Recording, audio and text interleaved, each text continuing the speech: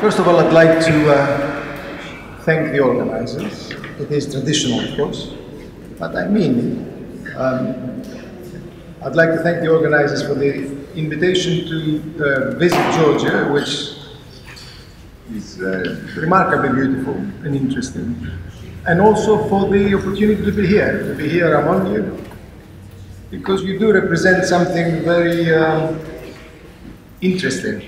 This um, coalition of people, mostly young people, who are looking for something new and something different is a very good thing to see uh, in the present conditions uh, of Europe and elsewhere. Um, and I hope that these discussions are of help to you. Now, I will discuss financialization, financialized capitalism today, uh, where it is, where it's going, and uh, I will look at mature countries, developed countries, and I will compare and contrast to developing countries. Because the path of the two has been quite different. I've been very concerned about the direction of development. I've been, can you hear me better? I've been very concerned about the direction of development of financialization since the Great Crisis. And there is a divergence, and that's what I want to bring out between developed and uh, developing countries. Financialization, as we've heard in the excellent uh, presentation just before, has got uh, many dimensions, many angles. I'm not going to uh, review those ideas. I will just tell you how I think about it. To me, what we've been living through the last four decades, in a sense, is the second wave of the rise of finance since really the emergence of industrial capitalism as a dominant uh, mode of organizing society. The first wave was in the late 19th century and early 20th century, the years of imperialism, um, which were captured by Rudolf Hilferding in his book Das Finanzkapital, and then gave rise to further theories uh, of that. What we've been living through the last four decades is, in a sense, the second wave, but it's not like the first. It's actually quite different. And uh, in whatever I've done, I've been concerned to bring out the difference while capturing what's happening today. So, what is beyond dispute is that we've got an ascendancy of finance in mature countries. That's clear. You've got to be blind not to see it. Um, if you look at the sectoral um, distribution of value uh, in mature countries, the financial sector has grown uh, enormously relative to the rest uh, in terms of incomes uh, and, and, and profits, which I will show you in a minute.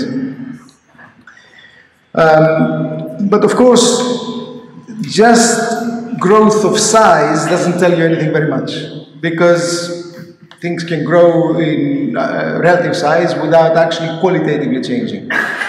So really for financialization to have any content, one has to look more closely at the changes uh, underneath, the changes in, in a sense, the molecular dimension of um, the capitalist economy. And there I think we find um, very important transformations, three of which have concerned me uh, over the years. The first is what has happened at the level of the corporation, big business, essentially. And there we find financialization, undoubtedly, which takes many dimensions. A crucial dimension here is this big business today um, in the United States, in the UK, in Germany, in Japan actually sits on enormous amounts of money, liquid cash, liquid, liquid resources, cash. It's actually remarkable the amount of cash that uh, available to big business. They don't invest particularly with it, and I'll come back to investment in a minute. They don't invest with it, and they use it for financial um, purposes, financial transactions, um, they engage in financial activities, and that often means activities through the stock market. So we can think of that as the financialization of big business. Um, that, of course, has implications for banks. Because essentially, what I told you about big business, it means, means that um, rather than banks and big business becoming closer to each other, they've actually diverged because big business doesn't rely on, doesn't rely on banks the way it used to, certainly in mature countries. And you can see so the, the, the, the evidence is clear for that. What it means for banks is that banks have had to look for other sources of profit.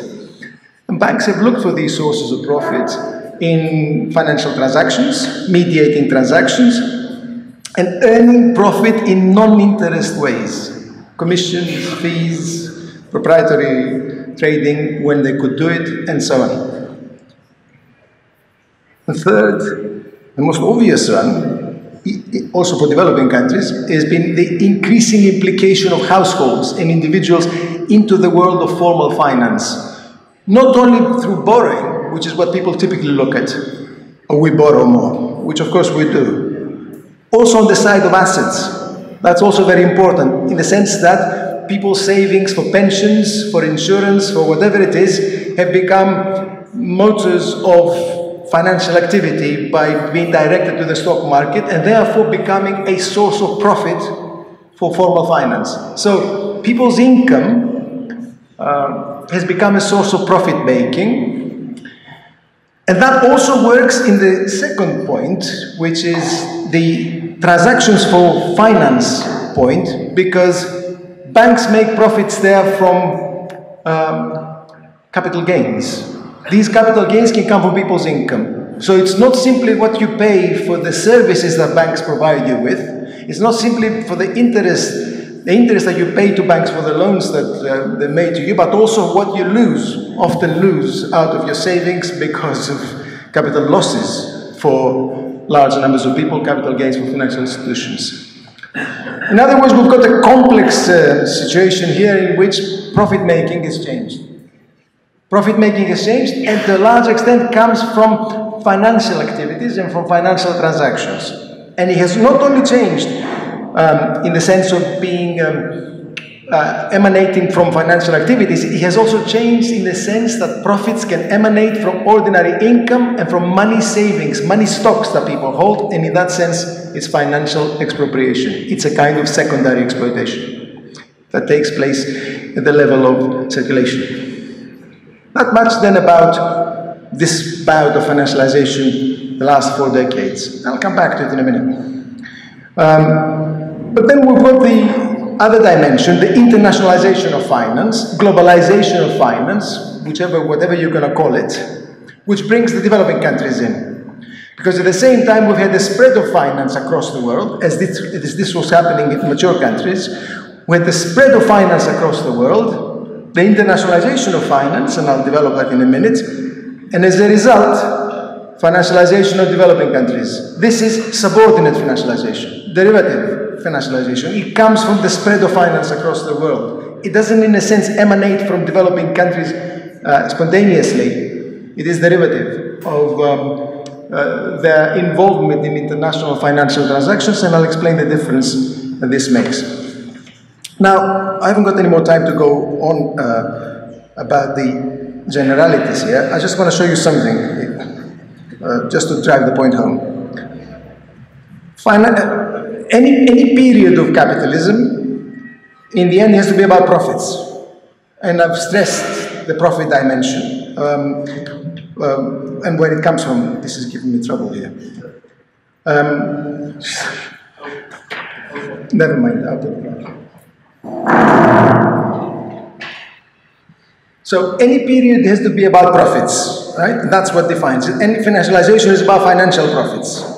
So what I've done here is to measure financial profits as a proportion of total profits in the United States from 1955 to 2015.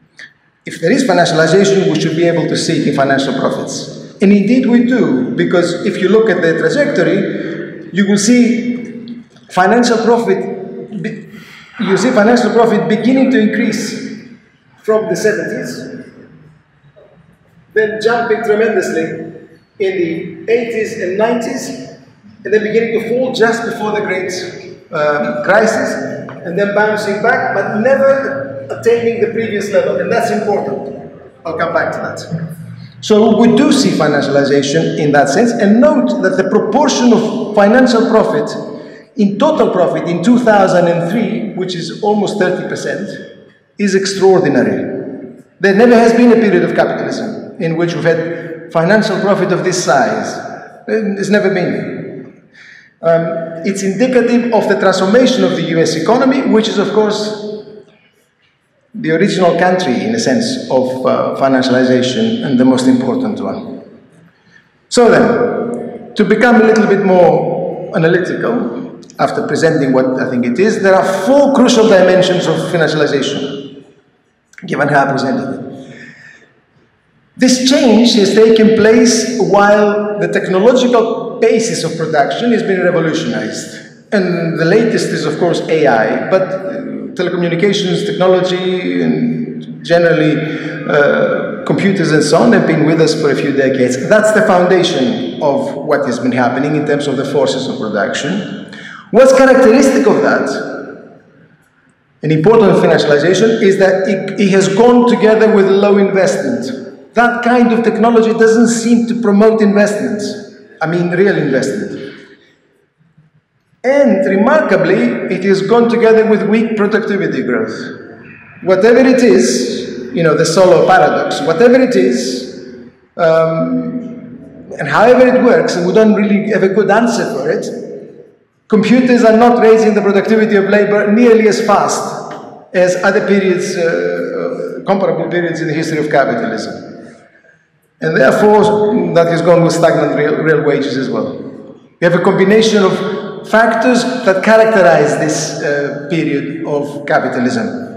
Technological revolution, however, has been crucial to financialization. It would have been impossible to financialize mature countries without the technical advances. So you have a contradiction. Massive technological change that, allow, that allows banks and financial institutions to do things that they couldn't imagine doing before, but it doesn't get reflected in, in the real sector, as it were.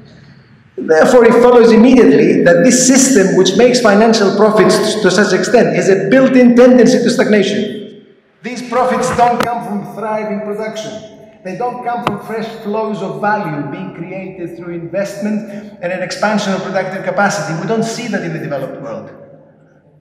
Therefore, the system has a built-in tendency to stagnation, which which it, it overcomes by creating periodic bubbles, which is what Prabhat Patnaik was talking about yesterday. Indeed, it creates periodic bubbles, and finance is crucial to that, and that is a mechanism for extracting profits, financial profit. The third characteristic that I want to mention here, which also follows from the general analytical description I've given you, is that, of course, if this is the world of finance, which is the world of the lender, even if the lender is an intermediary, like a bank, not the ultimate lender, but an intermediary. If, if that's the world of finance, then the lender will want inflation control. Because there's nothing worse for those who lend money than inflation. So inflation control has become the, you know, the, the, the of, uh, of, of, policy. Uh, inflation control and, and together with it fiscal conservatism. Inflation control and fiscal conservative, conservatism are characteristic uh, policy features of financialization. I'll come back to both of these too. The last point I want to mention is political. We know from historically, it keeps being repeated at all times.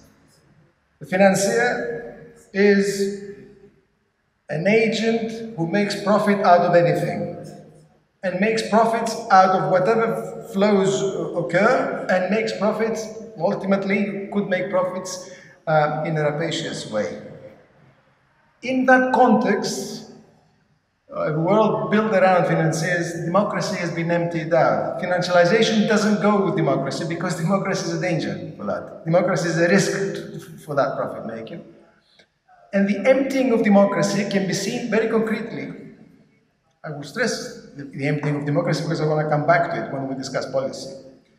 Um, the emptying of democracy can be seen very concretely in political terms. In Europe today, you can vote for any party you like, pretty much. You can vote for parties on the right, or you can vote for parties on the left. We've got the evidence of that.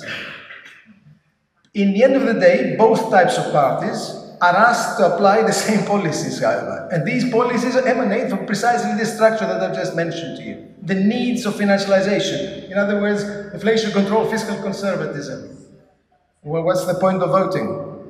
What's the point of democracy? Essentially, you've taken economic policy and you've depoliticized it. That's the emptying of democracy that I, that I talked about. A crucial aspect of um, social life has been cut off from the democratic process uh, effectively or emasculated. Um, and of course, that goes with encouragement of authoritarianism uh, at the same time. Now then, what's been happening since 2007 2009? That date is crucial because that was a gigantic crisis of financialization. Best way to understand it is a gigantic crisis of financialization emanating from the United States. What's happened since then? Well, what I see in developed countries since 2007-2009 is financialization at a standstill. The tendency to stagnation that I mentioned before is apparent. Financialization has not been progressing the last 10, 10 years in developed countries. And we can see in three crucial ways, and I will show you the evidence for it in a minute. Stagnant financial profits. Actually, they dropped massively in the crisis.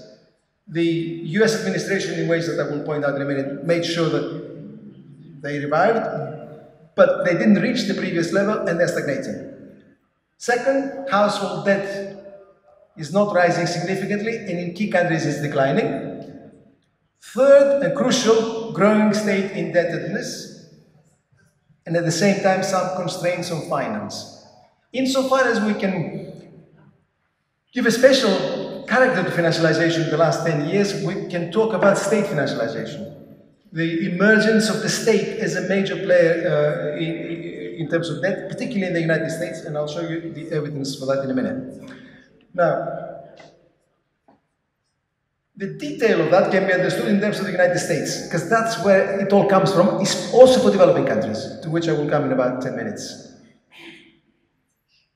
When the crisis burst out, the United States government was faced, administration was faced with a major problem. I don't want to recount what happened, I just want to give you um, the gist of it. And the gist of it was that the US administration was very keen, first to support, second to constrain finance there was elements of constraint that, that were imposed. Um, support and constraint took, took, took two dimensions, short term and long term, or longer term. In the short term, what the United States government did was to provide massive liquidity and to keep providing it through quantitative easing. Quantitative easing is key to what happened the last 10 years, what has happened the last 10 years. And of course, by engaging in quantitative easing, it drove rate, the rate of interest down to zero. Now, the rate of interest is a very important price in the capitalist economy. It is the means of profit for the financier, but it's also a very important price. When you drive it down to zero, you're going to get peculiar results, peculiar effects uh, in the capitalist economy, and that's to a certain extent what has been um, emerging. The United States government also injected bank capital from tax income, and that lasted for a period, allowing the banks to overcome the short-term problem. Longer term, however, and here Paul Volcker is of importance, because Paul Volcker is the most important um, the most important individual agent in this period. It's not Alan Greenspan or people like that. Paul Volcker is the person who's actually shaped US finance the last four decades. Volcker's intervention was of crucial importance because he insisted together with others, on raising capital reserve requirements for banks and limiting off-balance sheet operations for big banks. Now, these have implications for costs, bank costs. Banking became more, more difficult, more costly, for big banks especially. And that affected their profits uh, in the longer term. So the result was clear. Banks have become, US banks in particular, have become relatively constrained, relatively constrained, the scope of bank profit from lending declined in the United States. Capital requirements rose, and crucially, non-interest income of banks stagnated. That's where banks made a lot of their profits in the 90s and the 2000s. The market stagnated in terms of transactions. The banks could not make as much profit in terms of um, commissions, fees, and so on. At the same time, when you look at the borrowers, corporations and households moved in opposite directions. Corporate borrowing after the crisis declined. It's logical because in a crisis, corporations will deleverage, they will limit the extent to which they borrow. It declined initially, but gradually it began to rise again, and now we've got phenomena possibly of excess to some extent. I will show you the evidence in a minute. Households, however, reduced indebtedness substantially. Financial payments as percentage of disposable income declined in the United States. And here is an easy way of seeing it. This is debt as proportion of GDP in the United States. And you can see in the early 80s, it jumps. This period then stands out. It then continues to climb. This is 2008. It peaks in 2008 when the crisis happens. So we see a fast accumulation of debt. This is household debt, this is corporate debt, this is state debt, public debt. The main element of debt is clearly household debt. It's a housing bubble, basically. Here it is. Corporate debt, it, it does not rise nearly as much. And government debt equally does not rise nearly as much prior to the crisis.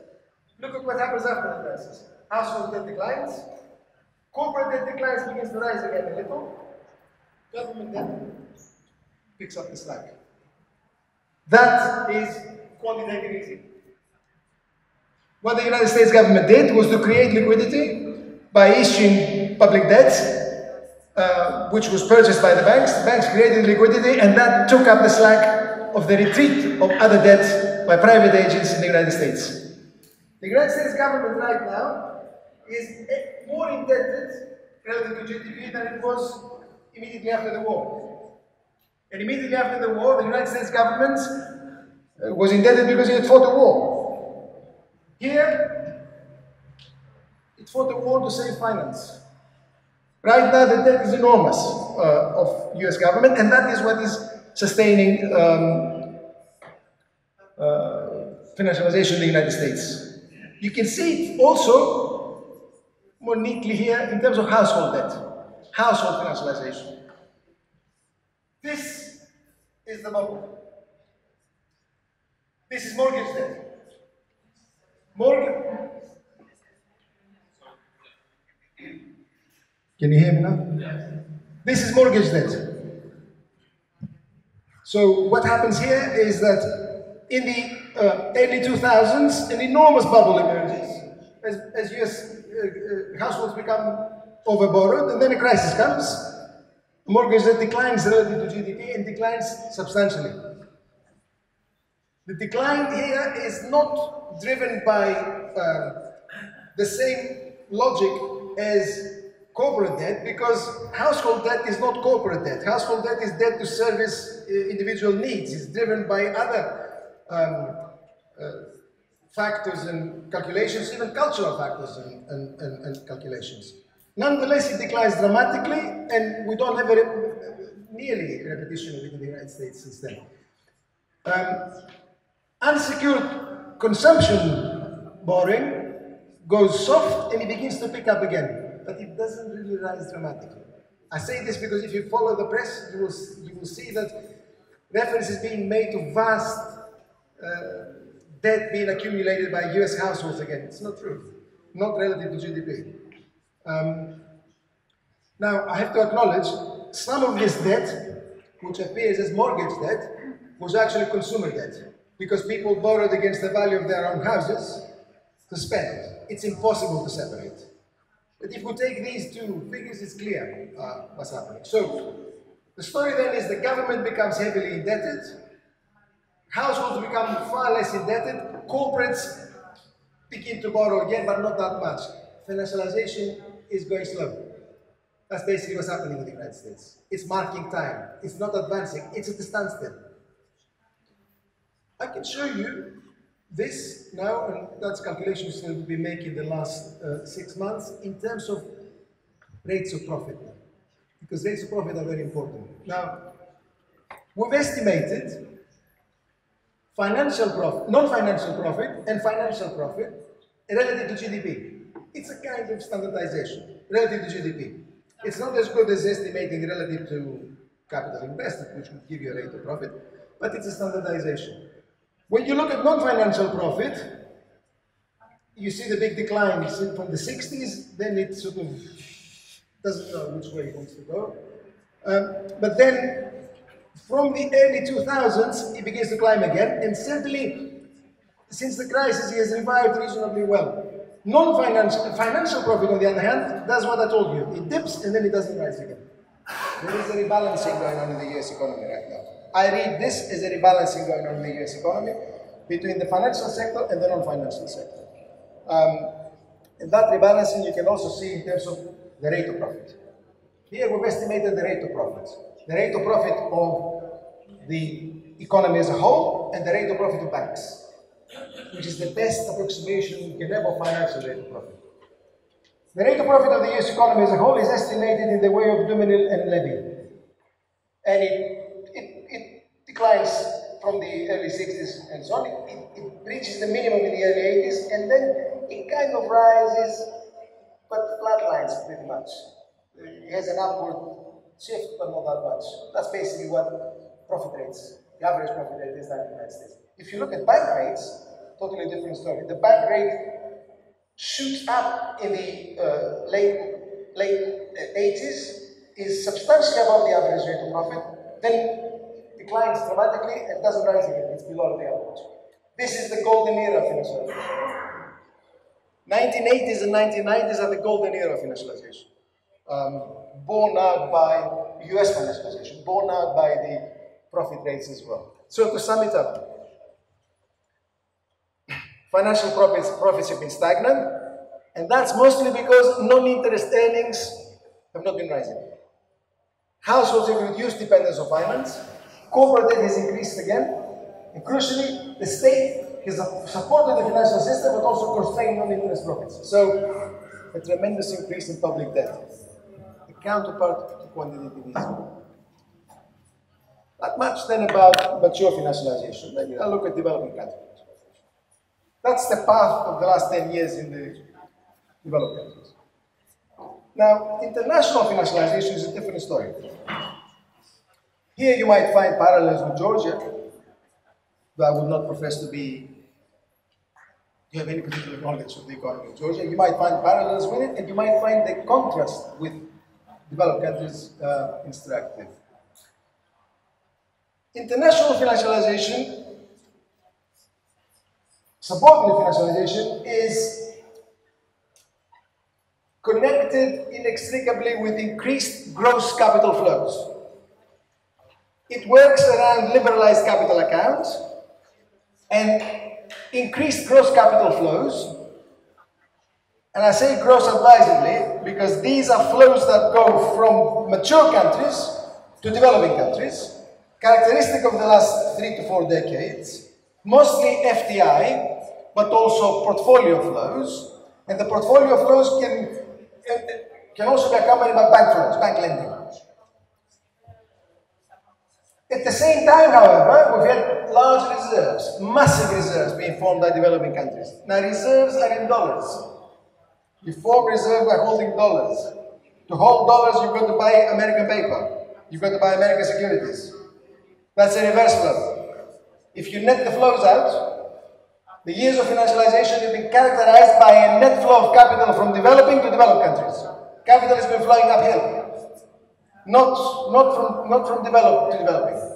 It's been flowing uphill, and that mostly to the United States, to the dollar, and it's a kind of tribute paid by developing countries to the United States for the privilege of using the dollar. Because, of course, the capital flows to developing countries and a certain rate of interest. The capital flows from developing to developed countries and a lower rate of interest because the United States pays less. The difference is tribute going to the United States from developing countries. Those gross flows have also gone together with foreign capital, foreign bank entry into developing countries. So big developed country banks enter developing countries and start having a presence there. And that impacts on the domestic financial system. It affects the way the domestic financial system works. Third point in developing countries, as that has been happening, we've had increased household involvement in finance. Unprecedented, particularly since 2001. We've never had anything like this before. We've had it mostly for middle income countries, but also for low income countries.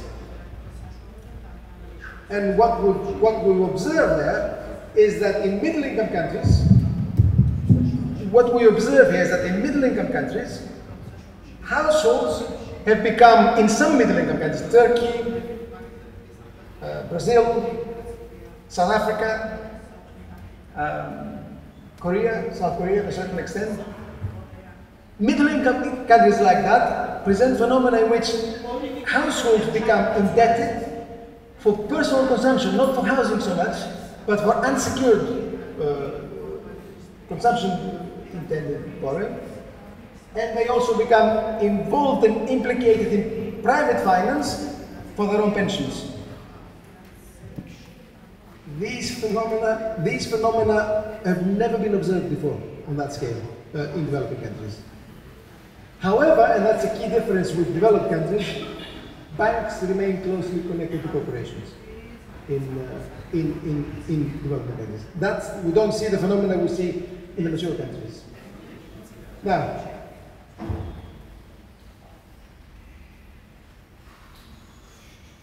there are five key dimensions that might help you understand what's happening in Georgia. The financialization we've observed in developing countries, because it rests on global flows, capital flows, ultimately rests on the absence of world money. The reason why these flows have grown the way they have, and in the form in which they have, is because the dollar acts as the world money uh, since the collapse of Bretton Woods. It requires free capital flows, therefore policy pivots on free capital flows. It relies on inflation targeting as a result, and fiscal austerity. So these are policy implications for developing countries as they take part in the global flows. As a result of this, it encourages overvalued exchange rates in ways that I will explain in a minute, and of course, it transforms the domestic financial system. Subordinate financialization is a phenomenon that we've observed in the last two decades primarily, and it is different to mature financialization also in that the countries that have most aggressively financialized, Turkey for instance, um, Mexico, and other countries of this order have also had significant investment, unlike the mature countries. So it, it, this isn't the same phenomenon, it's a derivative phenomenon. Um, what is interesting for me and possibly relevant for you is that subordinate financialization has proceeded apace since 2007-2009. While mature financialization has been stagnating, Subordinate financialization has proceeded apace. It's a different direction. The reason is the revival of capital flows due to quantitative easing in the United States, which I mentioned before. As the United States government intervened to rescue its own financial system, it created conditions for revival of global capital flows. And that has been the reality the last 10 years, despite the dip in capital flows after 2013, the so-called uh, taper tantrum, if you recall, when the United States government, the, the Federal Reserve announced a possible retreat from quantitative easing and then capital flows went into reverse. This is of crucial importance. Essentially, United States monetary policy is fundamental to understanding subordinate financialization. It's fundamental to the, to the financial and policy conditions as they obtain in developing countries. Um, when we look at the revived capital flows, now, in the key countries, middle income countries especially, what we see is that it's actually big business, domestic business in developing countries that has increased its debt. A large part of these flows are actually corporate borrowing from abroad by domestic big business. Um, and this takes the form of bank debt, but also bond issuing. In a sense, kind of peculiar financialization of big business of, in Turkey, particularly Turkey, but also Mexico and elsewhere. Uh, and at the same time, developing countries have continued to hold large reserves. Let me show you some evidence here. These are net private capital flows. Here is the crisis, and you see uh, this, the, this, the straight line is the, the net, the total. It dips, then US policy, I mean, it varies depending on the country. US policy then goes positive, US policy after 2013 makes it go negative, then it picks up again. The reason why it goes negative here is China. The player that I haven't mentioned is China, but I can't mention everything. China is here, one, has emerged as one of the biggest exporters of capital the last four or five years, and that's a crucial, crucial difference. But China is also one of the biggest borrowers and issuers of corporate debt internationally. The same with Brazil. These are large corporates borrowing abroad by issuing bonds. That is corporate financialization in, develop, in developing countries in the last 10 years. The result? Incipient crisis conditions. Right now, we've got incipient crisis conditions again. The crisis of 2007 2009 was a crisis of mature countries. It occurred in the United States, it occurred because of the huge bubble, and it brought what it brought. And I indicated to you that that's not really what we see that much in the United States again now.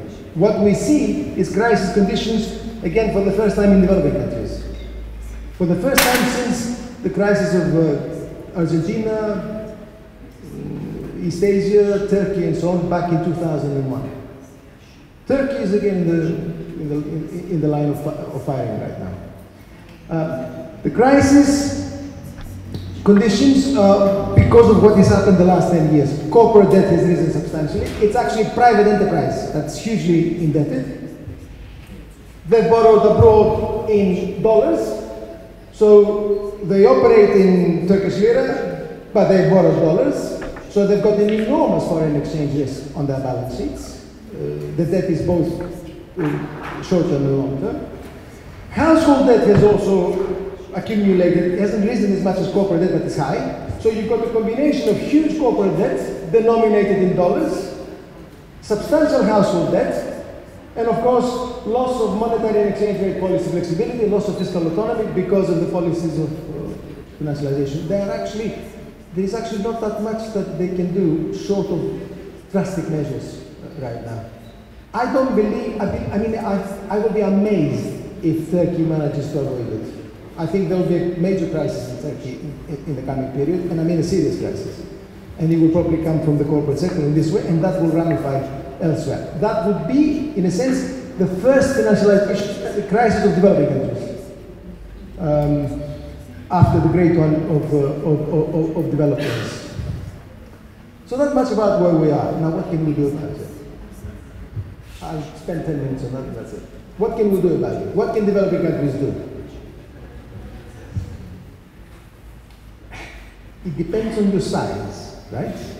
It depends on your size. So whatever I say will be, should be taken, you know, with a grain of salt. Georgia will be able to do much less than, say, Mexico might be able to do, or than India might be able to do, whatever. Um, in terms of direction, though, and in terms of the broad dimension of policy, definancialization is crucial. And definancialization here is obviously a step against neoliberal capitalism because all that has been against the background of neoliberalism. Essentially, I've been talking about a crucial aspect of neoliberalism. Okay? In working out what that can possibly be, other than the implications of size, we've got the experience of um, Europe. And I will mention Europe now, and I'm sure it will come back in discussion. Uh, we've got the experience of Europe, in particular, we've got the experience of Greece. Um, Greece teaches you what not to do, not what to do. Uh, so I will mention it in that context. Okay. Um, but in terms of the broader political and social dimension, again formulating policy, the crucial thing here is, and bearing in mind the discussion yesterday, the crucial thing here is this. We are confronted with global finance, globalized finance, and subordinate financialization in developing countries or financialization in, in, mature, in mature countries. It's global and it imposes its uh, requirements on policy making, inflation targeting, fiscal uh, conservatism, and so on, and it's mobile. The only answer that I can see, and in this regard Syriza is very important, is national state intervention. There is, I, I, know that in this audience and similar uh, audiences, one likes to think of internationalism, and I'm also an internationalist. But we're talking policy here. There are no international levers of policy. They don't exist. And they will never exist. As for there. When you're talking about policy, policy can only be national. We don't have any other means. So policy must be the first thing to resolve is that we're talking about national state intervention. Not obviously not the state that one has, one must change the state as well, but we must start with that. If that is to make sense and make sense from the left, that must also go with popular sovereignty. Otherwise, it's very dangerous, right? because you can have many types of national state intervention. So he must go, analytically must go from there, and he must go with popular sovereignty, and then the room for maneuver will vary from country to country. Obviously. The third point I want to make here, and it again it's a bitter lesson, is that if this is to make sense, and this is to serve as the, as as the, as the guideline for policy, it must go with democracy. Because financialization denies democracy. So we need popular sovereignty to go with democracy in whatever we do in terms of proposing state intervention. Democracy is very important. Democracy is of crucial importance because working people have got no other means of defending their interests, especially opposed by big business and global finance. There's nothing else to protect uh, working people and the poor here. So whatever policy is proposed must be national it must pivot on, on, the state. it must contain elements of popular sovereignty and it must be democratic. You try and solve that. Right? It is solvable, but you try and solve it the here and now. That's the problem we're faced with in terms of the broad political dimension of policy. Now, the technical dimension is very clear. Inflation targeting doesn't work. In macro terms, Whatever policy you propose, you must start by rejecting inflation targeting. Inflation targeting is imposed, has been imposed by the interest of uh, big business and uh, globalized finance. Um, it's, a, it's, a, it's a nonsensical strategy because it's one instrument, one target. We know it failed in the United States in leading to the, to the crisis. It makes no sense to use it as the pivotal policy for developing countries. What we need is active fiscal policy in Georgia, I think you will understand the import of that. Fiscal policy must be active. There must be degrees of freedom in using fiscal policy for any developing country. That's the first point. Second point, capital controls are integral to the policy toolkit. If you don't impose capital controls, forget it. Because, as I've indicated previously, Globalized finance thrives on and demands free capital flows, in other words, the opening of the capital account. Whatever policy goes against that must start by imposing capital controls. You work out what controls make sense in your country. They will not be the same in one country as, uh, uh, compared to the next, but you must have capital controls.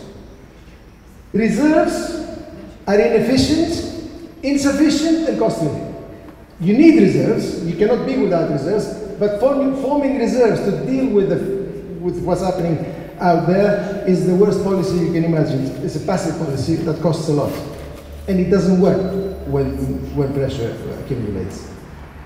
And when it comes to the exchange rate, the most sensible policy is actually an implicit target zone. Now, to a certain extent, this is what developing countries are already doing. If you look at what they're actually doing, not what they say they do, in practice, they're actually pretty much falling in implicit target zone. They might say, oh, the exchange rate is free. It can be what it likes. It's not. If you look at what central banks are doing, it's not. because they know it cannot be fully free because we'll be ruined if it's fully free. Effectively, then we need uh, an implicit target zone and we need techniques and the people who can manage that.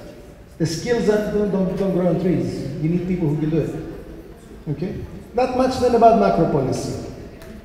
Specifically now, in terms of policy steps, two is obvious. You need to restructure the domestic banking system.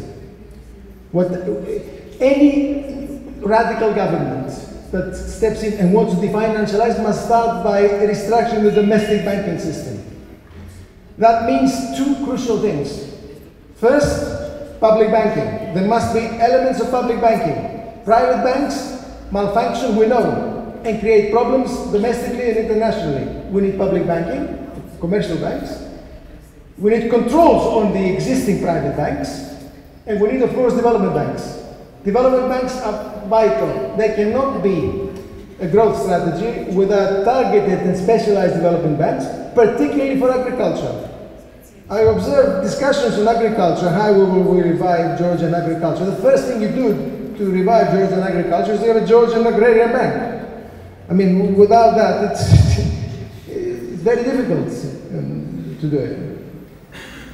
So, restructuring the domestic banking system is the next point, is crucial here, domestic. Next point domestic is reduce household dependence on debt. How do you reduce household dependence on debt? Well, think about it. Yeah, obviously wages and wage policy. But why do people borrow? They borrow for education, they borrow for health, they borrow for housing. To reduce household dependence on debt, you need public policy in all three. You need public provision on all three in order to make sure that people rely less on debt. You also need public policy on pensions. Private systems on pensions are a, sec a secure way of, financializing people's income. You need public provision of pensions. That, that's what would reduce household dependence on debt and on finance uh, in general. And once you've done all that, you might as well sit down and think of the the, crucial thing that is necessary to deal with the financialization and its outcomes, which is an agricultural and industrial policy for development. You need policy, agricultural policy combined with industrial policy uh, for development. That's not an easy task and that will vary from country to country. Now you might ask, how much room for maneuver have you got? Don't underestimate it. When I look at Syriza, for instance, and I think of what could have happened in 2015, we came within an ace. There was a hell of a lot that could have been done. That would have been good for the country, good for the working people of the country. Obviously, the constraints were very great, obviously. But there was a hell of a lot that could have been done along the lines I point out here. There, was, there were degrees of freedom that could have been gained. If the country has its own fiscal policy, if it has its own monetary policy, if it acquires again a trade policy and a, and a um, foreign exchange policy, it is constrained by international finance and by the alliances it, it belongs to, but it has degrees of freedom. And it uses national sovereignty on a popular basis, it can attain things. Now, obviously, Georgia will be able to attain much less than South Africa might be able to. But don't underestimate what can be done. And don't, don't try and do everything in one week. It doesn't work that way. It doesn't work that way. Right? So, I am reasonably optimistic. And I'm reasonably optimistic because financialization is a system that has built-in stagnation to it. And it creates crises in the ways that I pointed out. And neoliberalism generally, which is a the overarching theme here of nationalization has come to an end. It's time for something new, and that something new must be along those lines from my reading of it. I cannot think of any other way of developing uh, alternative strategies that would serve the interests of working people, and, dare I say, that would ultimately open up the path towards fighting capitalism and creating conditions for socialism. So, thank you very much.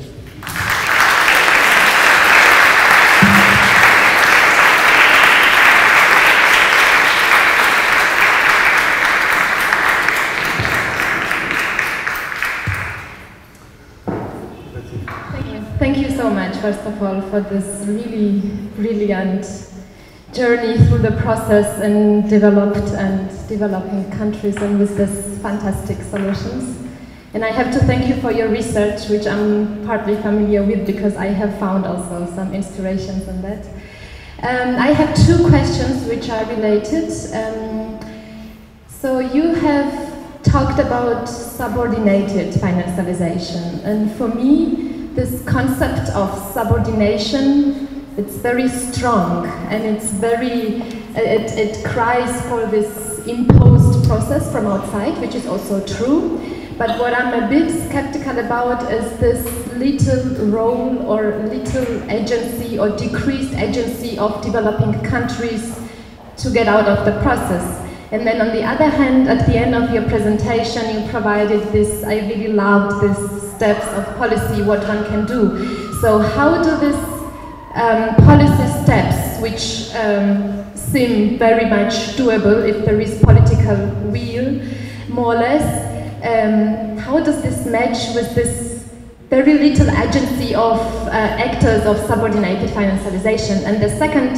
short question is related to that as for Georgia, I'm really not hopeful that the government, so from top down, will ever come up with this kind of policies in the near future, even though there are some very minor changes after the currency crisis and after everyone realized there is a problem of over indebtedness in the country. Um, so are there uh, other approaches to um, bring these policies to the agenda, to the top? Thank you. მაგითხოვი დავაგროთ სამი ადამიანის მიხედვა და შემდგომში ერთად ვიდასწრებთ. აა, ბეზი. Um, so my question is regarding regarding the idea of like you were saying how to create public banks. So where to accumulate the funding? Is it through taxation? And at the same time, I would really like to draw upon the idea of the free trade, how free trades can, in a, in a way, in, um, how, how can it be possible to revolve free trade in order not to create barriers for creating national policies that would be oriented on popular democracy, etc. Because in cases, for example, with the European Union, it's very difficult, and Georgia, in a way, has a lot of um, free trade agreements, including European Union right now, and also China, Turkey, and etc. Thank you. Another Uh, yeah, yeah, you answer and then get the questions. I'll take these and then. Um,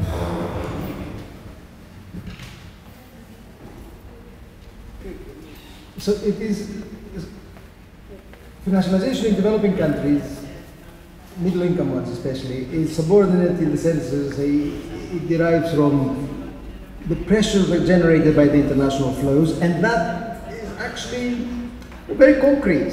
It's called the IMF and the World Bank. I mean, these are institutions that will tell you what you've got to do if you if you want to maintain uh, the country within the free capital flows system, and that you must do it, and therefore you must adopt certain policies you've got to follow inflation targeting and so on. Whether you like it or not, this is it, right? This is the policy you've got to follow.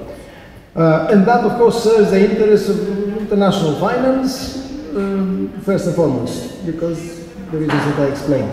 That doesn't mean that there is no domestic um, domestic element. I mean, I didn't have time to go into it, but the central bank in a variety of developing countries has, has acted as a key agent of domestic financialization uh, through the process of creating liquidity itself. For instance, in the case of Brazil, uh, which I'm more familiar, the central bank has been one of the pivots of domestic financialization by creating liquidity in domestic currency, making it available to domestic banks, and therefore allowing domestic banks to engage in transactions that have to do with derivatives and so on, which they wouldn't have been able to do before. Um, and that creates domestic interest in this. That domestic interest then acquires power. And it begins to, to influence policy, and it begins to have uh, profits itself out of this, and different stratification emerges domestically. So there is a domestic interest um, that supports this kind of process in developing countries, and that domestic interest will be the first uh, opponent. Whenever you think of uh, policies this type, the domestic interest will be the first opponent. Particularly when it comes to dealing with, for instance, creating public banks. I cannot imagine for the life of me that the private banks will say that's a very nice idea.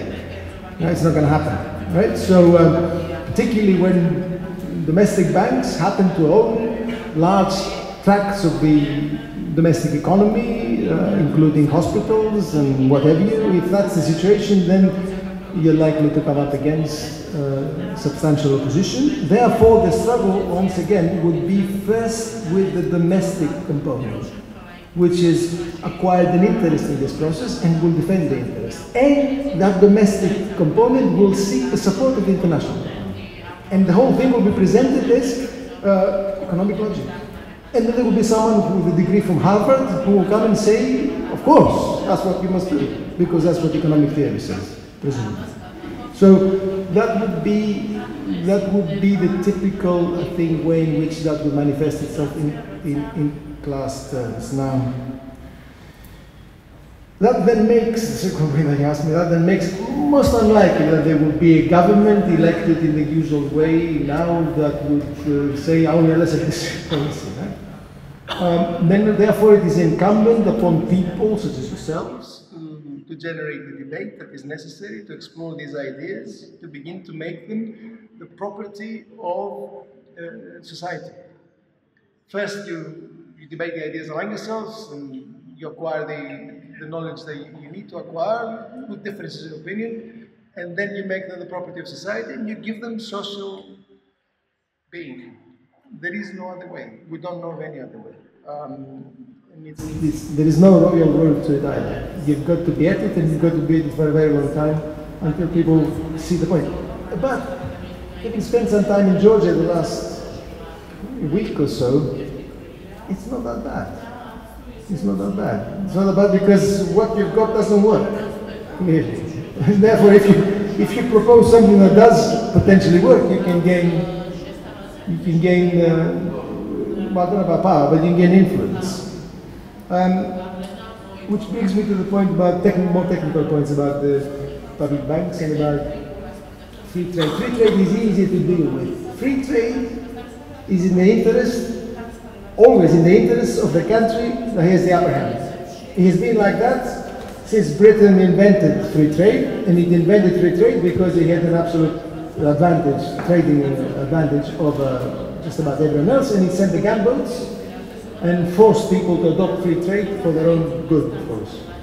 Uh, which wasn't their own good, it caused the industrialization and, and destruction of capacity in country after country. Free trade tends to do that. It's not in the interest of countries that wish to develop industrial capacity uh, and uh, manufacturing in other capacity. You need regulation of trade. You need to protect.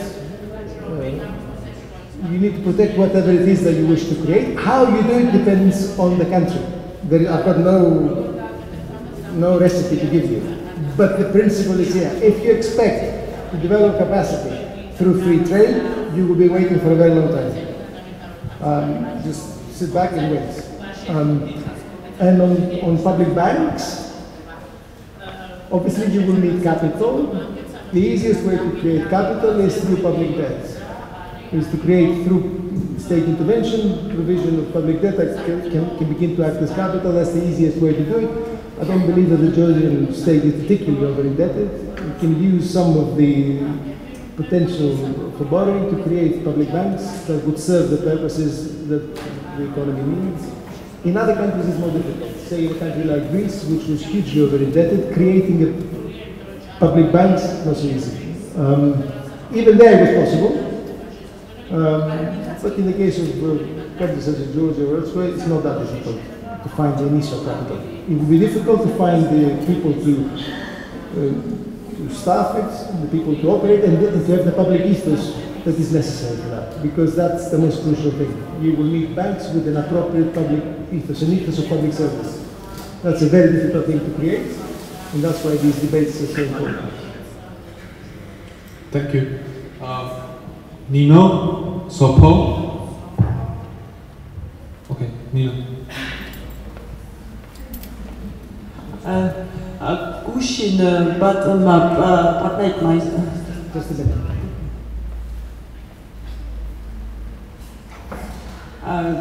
გუშინ მოხსენებაში ბატონმა პარტნერმა ისაუბრა მოკლედ შესაძლებლობა ევროპული მემარცხენეობისთვის შესაძლებლობაზე რომ ევროპის დონეზე საერთო სოციალური პოლიტიკები შეიმუშაოს. და ეს საუბარი იყო მანახსენა საერთო დასაქმების პოლიტიკა დავამატებდი ასევე მინიმალური ხელფასის შემოტანის საკითხს საერთო ევროპულ დონეზე.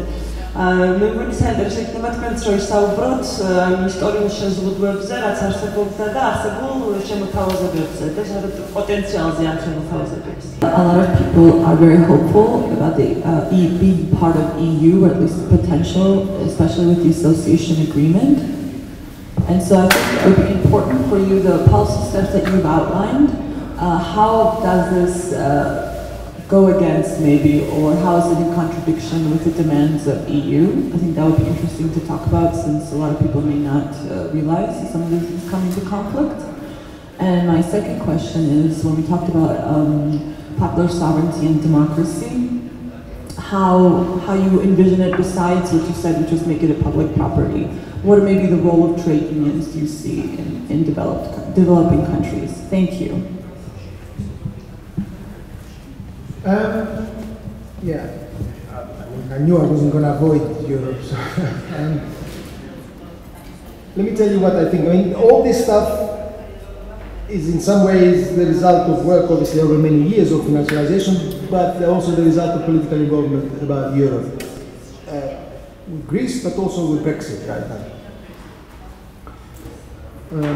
Because um, these are live issues in Europe. Right? That's basically what's being discussed. Essentially, in Europe, if you want to understand what's happening uh, among the left in Europe, within the left, rather, you've got the debates between people who argue that we need some kind of internationalism or transnational policies, which they usually identify with the European Union as the natural terrain for transnational policies. So the left is understood as a force that should take advantage of that and enter that arena and transform it in a left-wing direction, okay, along lines that I suggested here. And a smaller group of people who say that this is impossible, and what you need is to challenge the institutions of the European Union directly, that the left should rediscover its radicalism, because the left was created in Europe after the French Revolution, that's the historical origins of the left, and it was created as a political current that was prepared to say, we will overthrow the institutions. If you say that I'm going to join the EU and transform it, you're not overthrowing anything. Right? You're joining it and transforming it. So the other side says, the side indicating the smaller side, saying we need to challenge the institutions, oppose them, uh, and adopt different policies. If you follow that path, you'll end up somewhere here. I mean, you might not have exactly here, but you'll end up somewhere here. So we can discuss where, but that's, that's basically it. Now, why would the first line be impossible, or you know, the, the, the kind of transformation line of the I'll give you an argument from an analytical work and an argument from experience. The argument from analytical work says that Europe is in the European Union, not Europe, because Europe is big. It might even include Georgia, uh, if you stretch it, right? So um, the European Union is basically, since the Maastricht Treaty of 1992, it has been transformed, qualitatively transformed, and he has become a neoliberal structure, a neoliberal citadel. And that is based on the four freedoms of the European Union, the freedom to trade goods, services, and services, to shift money, and to move labor between among EU countries.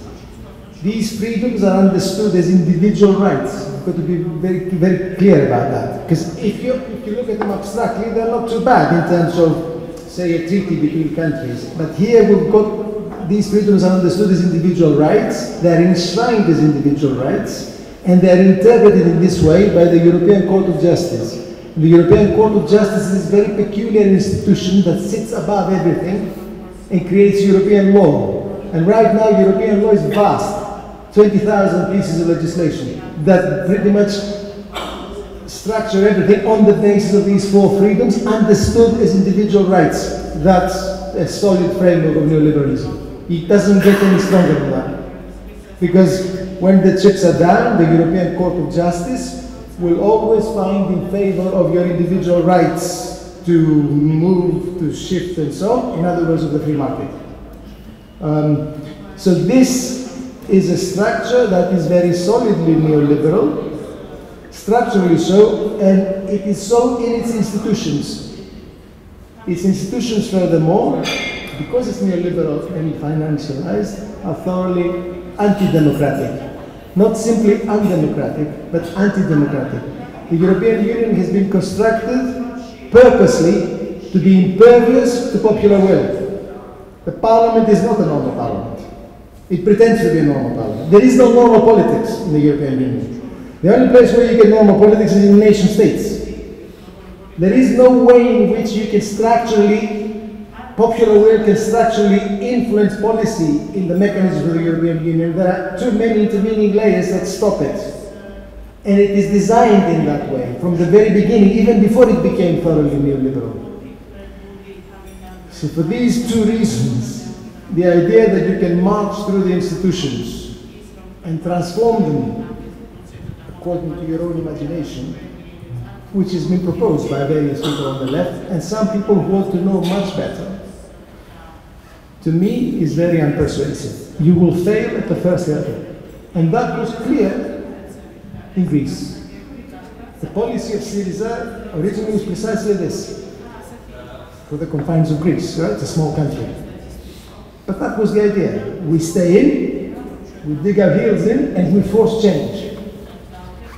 We don't, we don't exit, we force change. Yeah, well, force change. We've seen who's changed, right? And it didn't even last three weeks before. So that is why I would say the European Union is not a natural player, and would not tolerate this kind of policy. It has all kinds of regulations and, and, and, barriers, state aid, public procurement, competition, and so on, that would stop from doing this. Um, that's what I would say. Uh, I'm getting lost now with the but anyway. Um, the point you asked me now was about uh, trade unions and um, and, and, and broader issue. Now, one thing that's very important here, the brief is talking about, is this. And we've experienced that with Brexit. So let me bring in the experience of Brexit. You can have a similar argument about the European Union from the British side. It's different to Greece because, of course, Britain is not in the monetary union. It hasn't got the euro. But it's in the European Union you can make a similar argument, we have been having a similar argument in the sense that we've been telling people if you want a policy that will create jobs and will allow you to change the balance between capital and labor in this way, you can't do it in the European uh, Union. You can do that. As we try to do that across the country, one of the key problems we, we faced was precisely the emptying of democracy that I mentioned before. The emptying of democracy doesn't only take the form of detachment from elections, which is what a lot of people do. What's the point of voting? Whatever I vote for, it's the same policy, right? That is, in a sense, the top layer of the responses. There is a more fundamental way in which you see the emptying of democracy, the hollowing out of democracy, which we see in Britain right now. This process of detaching yourself from politics has also uh, been matched by the elimination of the inter intermediate um, mechanisms of democratic practice. Popular will cannot be expressed in the abstract. It doesn't exist. It only exists in the books of Rousseau, right? For, that, for that to happen in practice, you need, you need intermediate layers for it to become social reality. Trade unions are crucial to that. Not only trade unions, but also societies, associations, and so on. These have all become incredibly weak in Britain right now. And that is one reason why the left perspective on Brexit has been, in a sense, voiceless because it lacks, there aren't these mechanisms that used to be there in, in British society. Trade unions are of crucial importance. They exist in Britain, thank God for that. although they've been much weaker. Any structure of, any, any attempt to, to implement policies of this type that would also be democratic will have to depend on trade union strengthening and trade union uh, participation and all other mechanisms that emanate from trade unions to give democracy content. Otherwise, it's just words. I don't know if I'm answering you, but... Teknik Koreya'da demokrasilik hameknevem uh, rütbesiz uh, politikis um, na BJP uh, tam muhalefesi fakat bunda gazet kon um, principe before atma gazet kon siret fakat ma tu surat mahsus fakat ne slide bu erteki punkti o finansörüs kontroli tu surat mahsus. Um, და ცოტა უფრო მაინტერესებს ეს კონტროლი სავარაუდოდ ეს ეხება ასევე პირდაპირ უცხოურ ინვესტიციების კონტროლსაც ხო ეს ფინანსების ფინანსებია ესეც და მე განსაკუთრებით იმიტომ მაინტერესებს თუ ასეა აა იმიტომ აი პანელზე რო თქონდა დისკუსია იქ კარგად ჩანდა რომ საქართველოსი პირდაპირ უცხოურ ინვესტიციები რა სექტორში შემოდის იმ სექტორებში დიდად დასაქმება არ იქნება. სულეთ ანუ კონტროლი რას ნიშნავს მოკლედ ჩემი კითხვა ეს არის და როგორ უნდა გავაკონტროლოთ მაგალითად დასაქმების პერსპექტივით ჩემი ვთქვათ ისეთი აზრი იქნებოდა რომ ისეთ ფინანსები აცხადია სასურველი რომლებიც დასაქმებაზე გავლენას იქონებს მაგრამ თქვენი აზრი ან თქვენი მაინტერესებს როგორ და რანაირ უნდა იყოს ეს კონტროლი? მე მაინტერესებს მოხსენების დასაწყისში ახსენეთ თანამედროვე ტექნოლოგიებზე. დღეს ხედავთ რომ ეს ტექნოლოგიების განვითარებასთან ერთად ძირითად სარგებლობს ამით ხედავენ ვირტუალური გლობალური ჩილოეთის ქვეყნების ოქროს მილიარდი. სადაც ეს ტექნოლოგიები ხელს უწყობს თქვა დამატებით სამუშაო ადგილების შექმნას ადამიანებს უბიძგებს განათლებისკენ, კვალიფიკაციის ამაღლებისკენ, პროფკავშირული ბრძოლა იწვევს იმას, რომ სამუშაო ადგილები არ მცირდება, არამედ სამუშაო საათები მცირდება, ხო, როგორც თქვა შვედეთში, მაგრამ თუ ეს თქვა ისტორიულ პერსპექტივაში ვხედავთ ტექნოლოგიების განვითარებასთან ერთად უთანასწორობა ამ ქვეყნებს შორის, განვითარება და განვითარება ქვეყნებს შორის იზრდება, თქვა. თუ მე-19 საუკუნეში არ იყო ამ ხელა უთანასწორობა ისეთი როგორც არის დღეს და იმ ვითარებაში ისეთი ქვეყნები როგორც არის თქვა საქართველოს, რომელმაც ვერ დააგროვა ვერ საკმარის კაპიტალი და ვერ საკმარის რესურსები რომ შევიდეს ამ ახალ ინდუსტრიულ ციკლში სადაც ჯერჯერობით ძველი კლასიკური ინდუსტრიალიზაციაც კი ფერიან განადგურებულია ჩვენ გვექნება საფრთხე რეალურად იმის რომ დავჩეთ აი მუდმივად ჩამორჩენილ მუდმივად განვითარებულ ქვეყნად რომლის ასე როლიც ამ სოფლიო საწარმოო ჯარში უკეთეს შემთხვევაში შეიძლება იყოს მეტალის მოპოვება, თქვა განვითარებული დასავლეთის რობოტების წარმოებისთვის. ასეთ დარბაში რა შეიძლება იყოს ამ ტექნოლოგიების სწრაფ განვითარებასთან ერთად გამოსავალი ისეთ ქვეყნებისთვის როგორც არის თქვა საქართველოს ან სხვა ქვეყნები ან გლობალურ პერიფერიაში. მადლობა. On the capital controls, there's a, as you know, there's a substantial literature on capital controls. Not even the IMF is acknowledged and discusses various options of capital controls as a part of the policy toolkit. And if when the IMF begins to discuss that, you realize that there is a problem. And the reason why the IMF is doing it is, of course, because there is a problem. Uh, developing countries, if they don't have capital controls, they're basically helpless um, against globalized finance. Um, the type of controls you, you can apply will depend on the country and its characteristics there are controls that can be imposed on the entry of capital and on the exit of capital. Um, you, can, you can vary how you want to do it. Typically, they will be associated with the banks as well, because there'll be some banking controls. Now, Greece, had, for instance, had to impose capital controls uh, in 2015 uh, when the situation reached crisis point. Um, they were quite effective.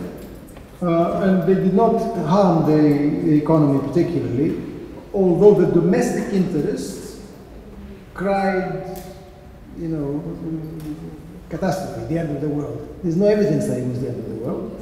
Uh, it did constrain the banks, um, and that might not have been a bad thing. Um, so you have to think about, you think about it in those terms. Now, beyond that, there are some clear rules. Uh, short-term portfolio flows offer very little in, in, terms of development. You lose very little by constraining short-term um, capital flows, um, which are basically speculative. Longer-term flows, you have to think of what matters and what doesn't, and where you would intervene, um, depending on who the lender is. FDI is also uh, something that needs analysis. What is FDI? Anything that is more than 10% of the uh, equity of an enterprise is FDI. Um, so a bank buys a bank, that's FDI. What kind of FDI is that? You know, a bank buying a bank. I mean, most people buy FDI think the creation of greenfield capacity. Foreign capital comes in and creates productive capacity. It, it, it happens, but that's not what typically is FDI. FDI needs some analysis, right? So someone comes and buys uh, bits of property as FDI. Uh, so you need to think of how you will approach it and what you will uh, regulate there in terms of the profits that can be taken out and what is allowed to be purchased and, uh, uh, and not. The controls are the controls are not difficult. You just you just ensure that the banks cannot facilitate payments and the shifting of capital, and you do that in terms of the international uh, foreign affiliates of the banks as well. Because one of the first things that happens when you impose capital controls is that the domestic interest hears about it. And the first thing they do is to get the money out the first two, three days uh, that this is going to happen.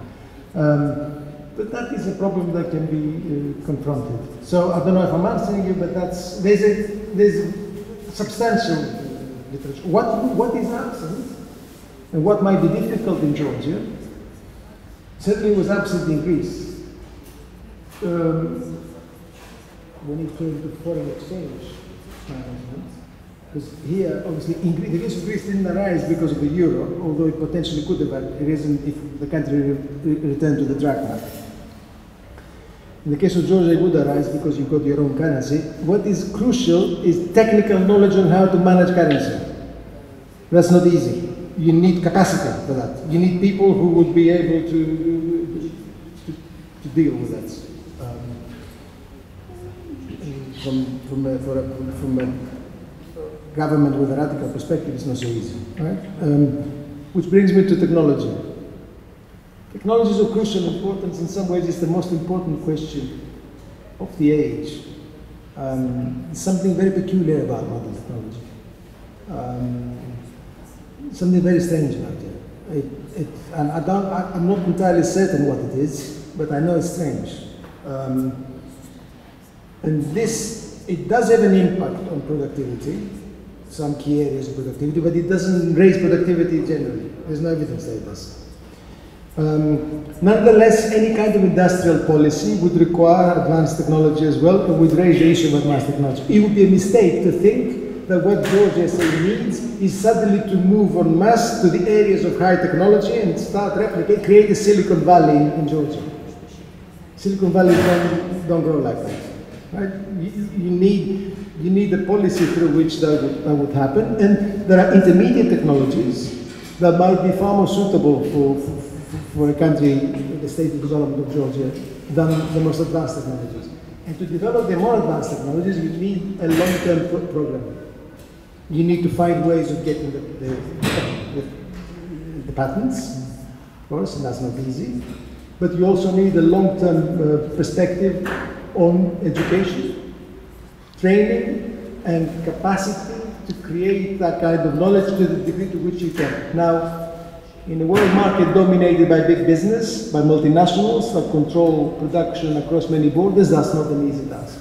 So you've got to be prepared for the long haul um, for this. Again, I don't know how, how helpful I am, but uh, that's something you need to be uh, thinking about. Uh, I will ask in Georgian. Um, um, ესე იგი მე მინდა გითხოთ პირველ რიგში მადლობა შესანიშნავ მოხსენებისთვის მე მინდა გითხოთ გლობალური ეკონომიკის ტენდენციის შესახებ და თქვათ ეკონომიკური პროცესი და პოლიტიკური პროცესი დაუკავშირო ერთმანეთს. აა როდესაც და ვისაუბრო ფინანსიალიზებული კაპიტალი, კაპიტალიზმის ბოლო საფეხბურთო ბოლო სტადიის სტრუქტურული თვისებებიდან. როდესაც თქვენ ამბობთ რომ ერთ-ერთი მახასიათებელი და მთავარი მახასიათებელი ეს არის რომ მოგება ხდება წარმოების სექტორში ინვესტიციების არჩადების გზით, ანუ ფინანსური სექტორების დამოგებებით, ამას არ მხოლოდ ბანკები აკეთებენ, არამედ თვითონ ინდუსტრიული კომპანიებიც, რომლებიც ძალიან დიდ кеშს შეხედან, მაგრამ ისინი თავიანთ კაპიტალის აკუმულაციას არა ინდუსტრიულ სექტორში, სადაც ხალხი საქმდება და სოდნა იქნება, არამედ ფინანს სპეკულაციურ სფეროდან იღებენ. მე მინდა კითხო დეფლაციის და ინფლაციის შესახებ. ანუ აი ეს პროცესი, რომელიც სტრუქტურული ანალიზში შიდა თავი ესე თვისობრივი მახასიათებელია ფინანსიალიზაციის გლობალურ ეკონომიკას განვითარებულ ქვეყნებს ხომ მიიყვანს დეფლაციამდე, იმიტომ რომ მაგალითად ინფლაცია უკეთესია ვიდრე დეფლაცია. დეფლაცია თუმცა რაღაცა შავ ჩაკეტილ წრეს, რომელიც თავდება ძალიან ცუდად, იმიტომ რომ კომპანიები შემდგომ ინვესტიციებს ამოკლებენ, შემდეგ სამსახურო მუშაობა იზრდება და რატო გიკითხებთ ახლა ამას? მაგალითად თანამედროვე ეპოქა ძალიან გავს მე-19 საუკუნის პროცესს, როდესაც ვთქვათ 1870-90-იან წლებში ჩვენ ხონდა დიდი გრძელი 20 წლიანი ფინანსური კრიზისი, რის შედეგიც იყო შემდგომში უკვე მე-20 საუკუნის დასაწყისში აა ვთქვათ ხანგრძლივი ომები, ხო იგივე პირველი მსოფლიო ომი და ასე სტრუქტურული პრობლემის გამო იყო მეორე მსოფლიო ომი. და თუ ჩვენ შევხედავთ მაგალითად ერთ-ერთი მთავარი ფაქტორი, რატომაც პოლიტიკური კრიზისი დადგა, იყო დეფლაციის პრობლემა. ჩემი კითხვა შემდგომარეობს შემდეგში. რამდენად how the financialization leads the deflation? როგორ იწვევს იწვევს თუ არა ფინანსიალიზაცია დეფლაციას, როგორც მთავარ ეკონომიკურ პრობლემას, რომელიც არ ხალდება კარგად. და ამის გამოსწრება აქვს სოფლიოს.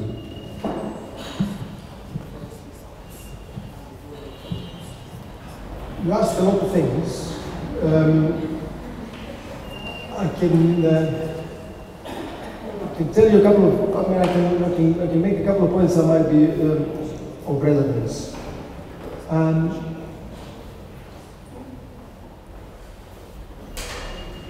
financial, financial, financial interest has got, uh, need, to defend low inflation. Needs to impose low inflation. We know that. That has been the reality since uh, um, the Volcker shock and that can be understood as the beginning of financialization. Paul Volcker was elected in the, was uh, head of the Fed in the, in the, in the United States in the late 70s. He imposed a tremendous increase in interest rates and squeezed inflation, and that, in a sense, is the beginning, the ashes in the, the growth of finance, because inflation then was controlled. Now, the system as a whole doesn't create growth reasons that I pointed out. So you have a peculiar, uh, we've had a peculiar situation since then, it's four decades now, of controlled inflation, weak productivity growth, weak investment by and large, um, and employment that is been problematic, weak employment, okay? It is basically malfunctioning in, in, in that way because We've had an accumulation of debt at the same time. I showed you what debt has been doing. Um, and debt accumulating in these conditions is like a ball, ball and chain. Right? right now, the problem of debt in Europe, but increasingly in the United States in a different way because they issue dollars, is of the first importance. So, the way I can answer the point you're, you're making is that as capitalism is financialized, in the mature countries, as growth has become weaker, debt has become a major problem, a key problem. So the deflationary tendencies are often associated with debt and policies to protect those who hold the debt, the interests of the debt holders. What do you do about it? You've got two options right now. One option would be um, to write off the debt. That is possible, but obviously it creates social tensions. It creates social opposition, and you will, because the lenders will not like it. And some of the lenders will be also social interests that are basically uh, pension funds and so on. So any writing off of debt would be a major problem. The other way is inflation. Inflation is the soft way of dealing with it. You have uh, 5% inflation for 10 years, the problem of debt becomes much less. Yeah? So that's the other way. Keynes advocated that way. Keynes advocated that way. Both ways are deeply problematic for financial, for the financial interest. So the financial interest will defend full repayment of debt, full repayment of debt, and no uh, no writing off or no elimination of debt through um, through inflation. Defending debt means conservative fiscal policies and independent central banking to keep inflation low. Um, it works that way too. So it's class interest in the end. It's clear class interest. Uh, in. Any kind of radical government that wants to, to break this will have to deal with debt as well. In Greece, we proposed um, default. Not an easy prospect, but it might have solved some of the difficulties to start with. In the end, the country has decided to go for accepting the debt. It will never be free of it. Debt right now is 180% of GDP. Um, it will never go away. Um, and it will continue to shape economic policy. So any kind of policy of this type, we will have to deal with it, and that would mean dealing with inflation. But I don't know if I'm answering it, but that's the best I can do. Tash. Thank you so much.